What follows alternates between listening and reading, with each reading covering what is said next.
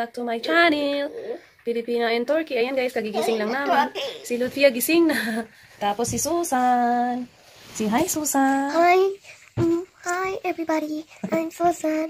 Ayan guys, babangon na kami kasi si Susan gising na.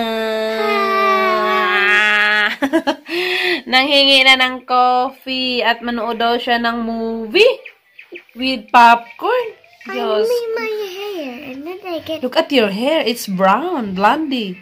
Wow, beautiful hair, Susan. Oh my God. Mommy hair, it's black. But Susan hair is blondie. Oh my God, Susan so beautiful, but without tip. Hi, my, hi friends. Mm. Ay. All it feels. Mm. Oh my God. Na hi friends. wow. Okay na. Mm. So, ayan, nandito na kami sa kusina. And, mag-ano na ako, magpakulo lang akong tubig. Tapos, ah, magkakape kami. Ayan nga pala guys, kwento ko pala sa inyo. Kagahapon, di ba, blinak ako ni daddy. Tapos sinayaan ko lang siya, hindi ko siya inistorbo. Hinayaan. Tapos pagdating ng, ah, tawag nito, mga late na yata, tumawag. Tapos parang wala lang nangyari. Tapos tinawanan ko lang. Tapos sabi niya, ba't ka tumatawa sa akin? Sabi ko, wala. Kasi ang ano mo, ang corny mo, ang uwi mo, overacting ka masyado. Kung ano ka, makapag-react ka. Kala mo naman may ginawa akong masama. Tapos sabi niya, nasaan yung mga bata? Sabi ko, nasa sala. Ayun, tumahimik ang lolo.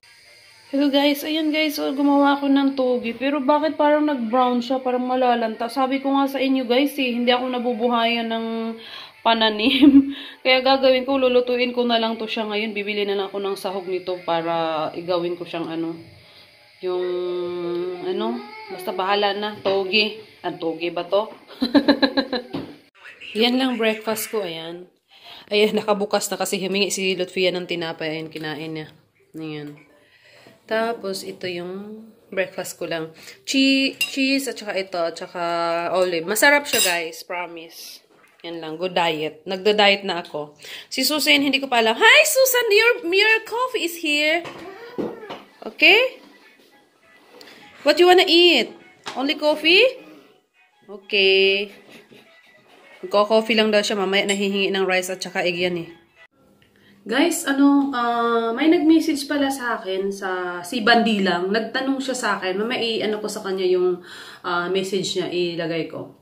Nag, ah, sabi niya sa akin, nagtanong siya sa akin kung hindi ba allowed dito sa Turkey ang, ah, I mean, multiple marriage. Let's say, for example, uh, mag-aasawa ng second wife, third wife, fourth wife, uh, and then so on. Sabi ko sa kanya, uh, in-explain ko sa kanya, sabi ko, uh, dito sa Turkey, merong nagpa-practice niyan. Di, di allowed that kung kayang buhayin ng lalaki ang apat na pamilya niya, or ilan pa yan, ang ang kaibahan lang kasi dito sa Turkey at saka sa Saudi or sa Qatar or sa UAE, yung apat na, na asawa doon, they are all legal. Legal silang, I mean, nakaregistered sila sa government nila. Dito sa Turkey, pag once mag-asawa ka ng second wife, third wife, or fourth wife, hindi yan nakaregistered sa government nila. They are married in imam. I mean, yeah, imam. Tapos, yung first wife, kung siya yung pinakasalan, pinakasalan niya siya sa imam, tapos sa uh, nekah, yung government nila dito. Yung, yung iba naman, kaya sila nag-aasawa ng ganyan, yung second wife, kasi yung first wife, they are not in good terms. The reason why uh, nag-asawa sila ng second wife, kasi they are not, uh, I mean, they are not in good terms. Uh, hindi na sila nagtatabi matulog. So, wala na silang, alam nyo na, wala na silang sex life. So, ang lalaki, syempre, naghahanap ng ano yan. So, kaya ina-allowed siya. Pero, sa imam lang, hindi sa government. Unless, pina, uh, pinawalang bisa yung kasal nila, pwede nang i, uh, ilagay sa system yung second wife. Pwede na silang magneka, neka wedding, para uh, maging legal yung kasal niya.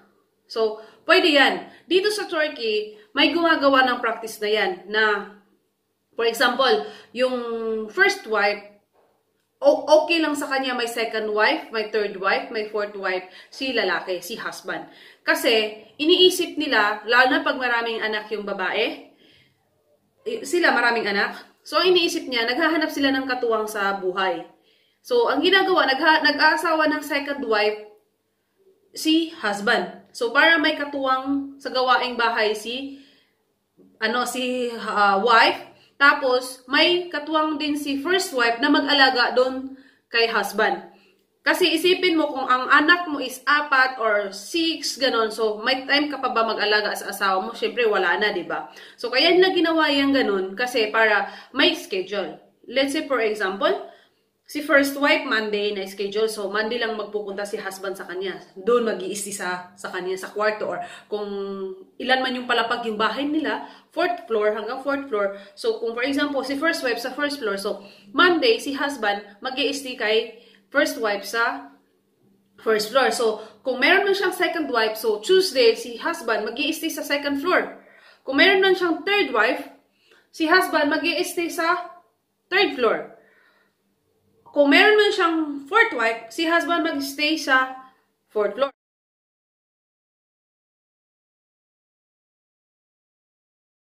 Floor. So, ganun ka, ano. So, si first wife, hindi siya masyadong pagod. Kasi iintindi niya yung anak niya, iintindi niya si husband. Pero yun lang yung mga nagpa-practice na niyan, kung merong kakayahan si husband magbuhay sa apat na pamilya or dalawang pamilya. Ganun lang yun. Hindi ko sinasabing legal yan. Pero dito, hindi yan legal sa Turkey. Ang ibig ko sabihin lang, mayroong nagpa-practice na yan. As long as na walang nagre-reklamo, uh, okay lang yan. As long as na hindi niya pinabayaan yung pamilya niya, yung mga anak niya, sin, uh, okay lang yan. Yan nga ang sabi ni Rocky Tulpo, di ba? Hanggang walang reklamo, walang kaso, di ba? So yan. Uh, i-flex ko lang yung ano ng ano ng followers ko ha, yung question niya. So, dito sa Turkey, mayroong nagpa-practice niyan. Hindi, uh, hindi dito sa Istanbul uh, or Ankara. Mostly, ang mga nagpa-practice niyan yung mga near to Arab countries like Iraq, uh, Kuwait, uh, I mean, uh, near to Iraq, uh, Iran, boundaries, and Syria. Yung mga boundaries ng mga Arab countries, meron yan. Merong nagpa-practice niyan, especially sa Iran. Pag mayaman yung lalaki, malaki yung farm, malaki yung hayupan niya, yung mga ganun uh, asahan yung apat yung asawa niyan. Pero, kanya-kanya sila. Schedule, schedule. Padamihan ng anak, tapos schedule, schedule. Ganon sila. Dito naman sa Istanbul, uh, ang kaibigan ko, she's a nurse. Nagkakilala sila ng asawa niya na Turkish sa Saudi. Ang sabi ng asawa niyang Turkish, uh, hiwalay na sila ng asawa niya. Pero, hindi pa divorce. So, it means hiwalay hindi divorce. So, ang legal wife is yung si first wife. Kaso lang, hindi na sila nagtatabi. So, kaya siya nag-asawa ng second. So, si second wife, si Pilipina na kaibigan ko, second wife siya, kasal sila sa imam. Pero dito sa Turkey, hindi sila hindi naka-registered yung kasal nila sa government. So, 'di ba? Dalawa asawa. So, mayroong nagpa-practice niyan dito sa Turkey. So, yung first wife, gustong i-divorce ni Turkish, ayaw pumirma ni first wife. So, syempre, ang inisip ni first wife, pag namatay si, ano, si Turkish kasi may kaya. So, sino makikinabang? Di si second wife, si Pilipina, kung papayag siya ng divorce. Kasi wala na siya eh. So, kaya hindi pumayag si first wife na mag-divorce sila. So, ang ginawa niya, hinayaan niya yung asawa niyang merong number two. So, ang kawawa, si number two, wala siyang habol. Kung matigi bum man si Turkish, uh, wala siyang habol. Unless na lang kung merong uh, well doon na ganito, ganun, ganun. Pero kung wala, wala pa rin siyang ano. Kasi yung mga benefits ni, ni Turkish, mapupunta doon sa first wife. Pag namatay siya, lahat ng benefits niya nandun sa first wife. Kasi wala naman silang anak ni second wife. Pero, kung for example, si first wife hindi pumayag mag-divorce, tapos may second wife si Turkish, or third wife, or fourth wife, kahit yung tatlong yan na babae, hindi naka-registered yan sa sa tawag nito sa government dito sa Turkey. Once nga meron silang mga anak na minors, yung benefits ni Turkish, mahahati yun. For example, meron siyang anak kay second wife na minors, tapos kang third wife may minors ito, mahahati yan. At ni first wife, bali apat na hati yan. Yun lang din ang kagandahan. Hindi na ka, talaga kailangan na kailangan mong pumunta ng abogado kasi ganito ganun hahabulin mo yung sustento doon at hahatian partihan si si anak ko kasi legal naman siya nga anak ganun. Kasi ganun dito. Once inacknowledge lang ni husband na anak ko to si ganito, nakapangalan sa I mean nakaapelyido yung anak ng yung anak niya doon sa second wife, third wife nakaapelyido sa kanya. Yan, automatic yan. May habol. Automatic talaga yan.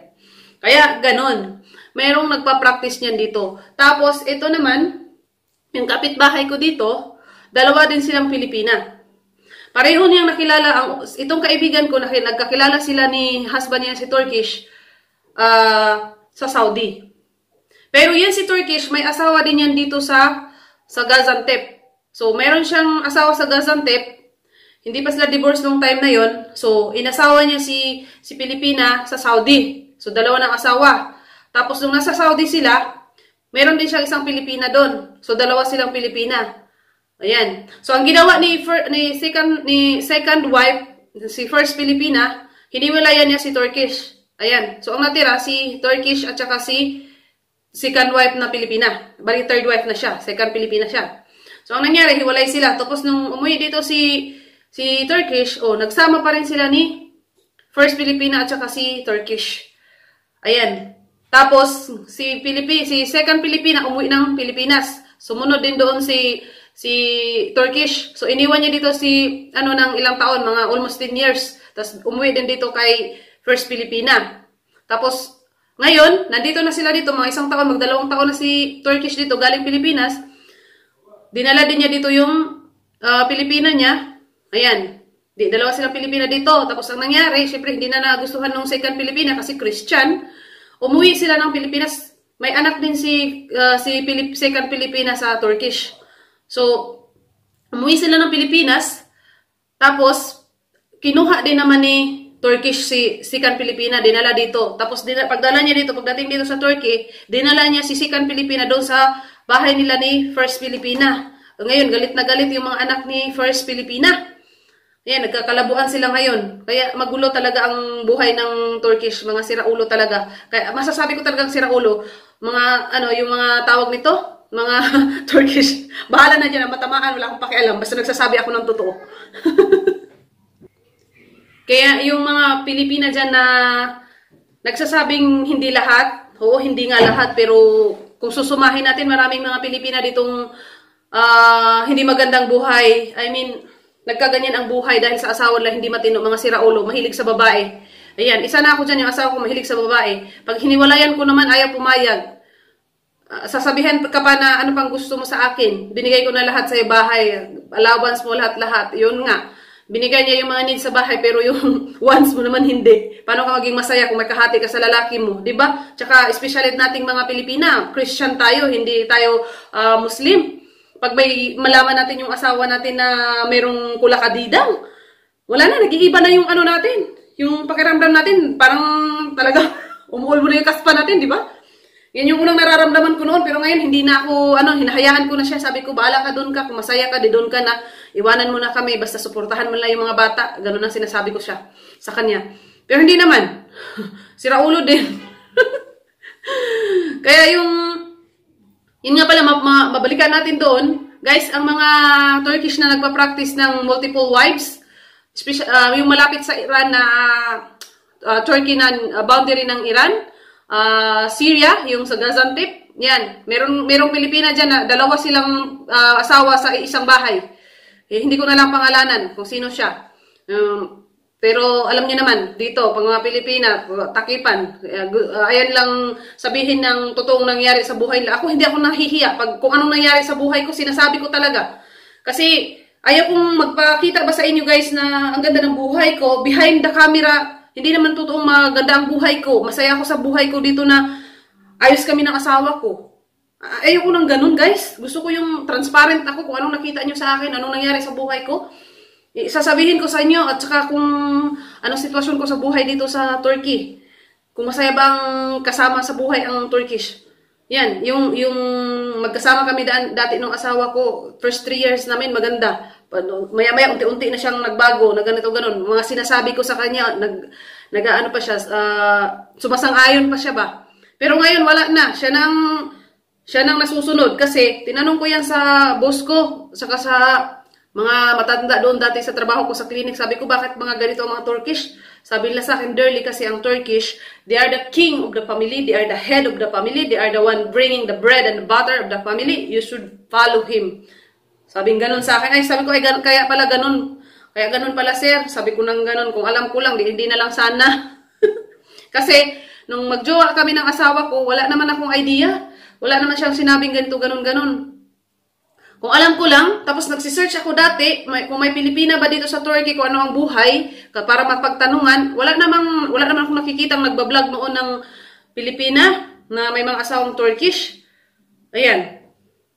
Tapos, ito lang nangyari ngayon. Ganun pala. Yun. Yun lang guys. Basta ang tandaan nyo, may mga nagpa-practice dito ng multiple wives.